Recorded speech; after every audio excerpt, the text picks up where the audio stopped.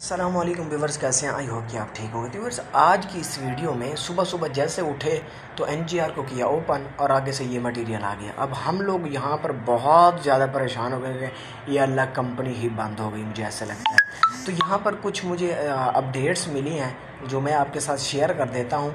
बाकी परेशान होने की कोई ज़रूरत नहीं है। सही है? तो अपडेट्स क्या आई है? सुबह सुबह मैंने पाँच बजे से पहले मैं उठा था तो मैंने ये इनकम रिसीव की, उस वक्त चल रही थी। अब उसके बाद जब मतलब छः सात बजे हम, मैंने चेक किया तो एप्लीकेशन ओपन नहीं हो रही थी। यहाँ पर बहुत सारे लोग परेशान हैं।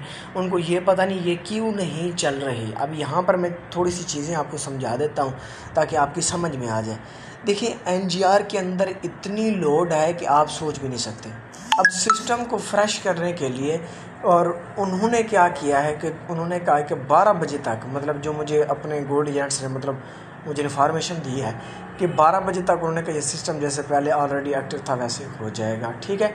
अब उसको रिफ़्रेश करने के लिए, सारा डेटा क्लियर करने के लिए, दोबारा न्यू स्टार्ट लेने के लिए, आपको पता है थोड़ा बहुत टाइम तो लगता है। कोई भी चीज़ होती है, उसके लिए रिफ़्रेशिंग होती है। अब ये जो प्रॉब्लम आ रहा है, पाँच सौ दो लिखा हुआ जो एरर आ रहा है, ये काफ़ी सारे, पहले भी कुछ कुछ, कई कई कई मरतबा आता है, आता था।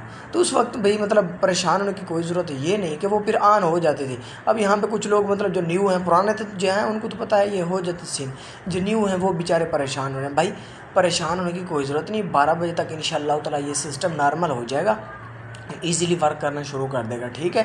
बाकी अल्लाह खैर करेगा, परेशान मत हूँ, परेशान मत हूँ। मुझे इतने लोग मैसेजेस कर रहे थे, मैंने कहा, यार, एक छोटी सी वीडियो बना के ना, मैं वहाँ पर डाल दूँ, उनको समझा दूँ कि यार, हो जाएगा, बारह बजे तक इन ताला उम्मीद मुझे काफ़ी है कि हो जाएगा। अगर कोई न्यू और अपडेट्स आती हैं, जो मतलब आजुर स्टोरी से तो वो भी इन ताला मैं आपके साथ शेयर करूँगा। तो परेशान ना हूँ नेगेटिविटी से भी फैलाने से दूर रहें। बहुत सारे लोग ऐसे हैं कि बस वो ना, उनका रुपया भी इन्वेस्टमेंट नहीं होता, वो ऐसे मैसेजेस ठा ठा बस कंपनी भाग गई है, ये हो गया। बहुत सारे लोग परेशान हो जाते हैं तो यार ऐसी कोई बात नहीं, परेशान होने वाली बात नहीं है। ना उनकी बात के ऊपर बिलीव करें, सरमाया आपका लगा हुआ है, उन लोगों का नहीं लगा हुआ। वो हमेशा कहते हैं ना कि तमाशा ही हमेशा ही बजाते हैं। समझ ही है? तो कहते हैं कि हमेशा खाली बर्तन ही आवाज़ करते हैं। जो अंदर से खाली होता है ना, जिसकी एक रुपए की भी इन्वेस्टमेंट नहीं होती ना, वो ढोल बजाता है, वो शोर करता है कि ये अब कंपनी बंद होगी। मैंने पहले आपको कहा था कि ये बजाने वाली है, ये हो जाएगा, वो हो जाएगा। ठीक है? आप उन जैसे लोगों के ऊपर बिलीव ना किया करें इन उतारा अल्लाह खैर करेगा, आप दुआ करें इनशाला सब ठीक हो जाएगा नॉर्मल हो जाएगा बारह बजे तक, ठीक है? आई होप कि आपको एक छोटी सी इन्फॉर्मेशन पसंद है कि जैसे कोई आपको हमें अपडेट मिलती है तो इनशाला वो भी आपको यहाँ पर शेयर कर दी जाएगी। थैंक्स फॉर वॉचिंग अस्सलाम वालेकुम